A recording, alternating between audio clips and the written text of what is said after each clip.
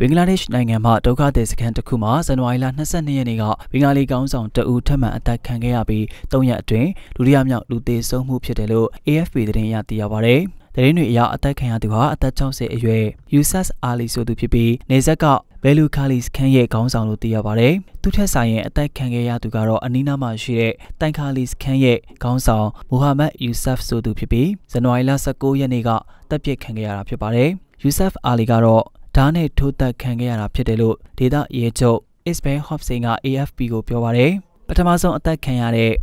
မိုဟာမက်ယူဆဖ်ရဲ့ဇနီးတဲ့ဂျာမီလာခန်တမအဆိုအရအဲ့ဒီနေ့ကသူတို့ရဲ့အိမ်ကိုမျက်နှာဖုံးဆွတ်ထားတဲ့လက်နက်ကန်အမျိုးသား20လောက်ဝင်လာပြီးခင်မွန်းတဲ့ရဲ့ဦးကောင်ကိုတနက်နဲ့ပြစ်ခတ်ခဲ့ကြောင်းအဲ့ဒီလူတွေကအလာလို့អော်ခဲ့ပြီးခင်မွန်းရဲ့ပါဇက်ထဲကိုတနက်နဲ့ထပ်ပြီးပြစ်ခတ်ခဲ့ကြောင်းနောက်တော့ခင်မွန်းတဲ့လဲကျသွားကြောင်းဒေါသထွက်နေတဲ့တနက်သမားတွေကခင်မွန်းတဲ့ကိုတင်ပါလို့ကျုပ်တို့နာမည်တွေစီးရင်နဲ့ထည့်တယ်လဲဆိုပြီးတော့လဲပြောခဲ့ကြောင်းသိရပါတယ်။ဒါပေမဲ့အဲ့ဒီအမျိုးသမီးကတနက်သမားတွေဘယ်စီးရင်ကိုရည်ညွှန်းပြောခဲ့တယ်လဲဆိုတာကိုတော့မပြောပြခဲ့ဘူးလို့ AFP မှာဖော်ပြထားပါတယ်။မြန်မာနဲ့ဘင်္ဂလားဒေ့ရှ်နိုင်ငံသဘောတူညီချက်အရဘင်္ဂလားဒေ့ရှ်အာဏာပိုင်တွေကဘင်္ဂါလီဒုက္ခသည်လွှဲပြောင်းရေးကိုဇန်နဝါရီလ23ရက်နေ့မှာစတင်ဖို့အစီအစဉ်ထားခဲ့ပေမဲ့အချိန်ယူပြင်ဆင်ရအောင်မှာဖြစ်တဲ့အတွက်လွှဲပြောင်းရေးအစီအစဉ်စမိတ်ရက်ကိုရွှေ့ဆိုင်းထားတာဖြစ်ပါတယ်။ဒေသမီဒီယာနဲ့ဘင်္ဂါလီကောင်းဆောင်တအုပ်ကတော့လက်ရှိအသက်ခံရတဲ့ကိစ္စတွေဟာဒုက္ခသည်တွေပြန်ပို့မဲ့ကိစ္စနဲ့ဆက်ဆက်နေတယ်လို့ဆိုပြီးရဲတပ်ဖွဲ့ကတော့ညှင်းဆိုထားတယ်လို့သိရပါတယ်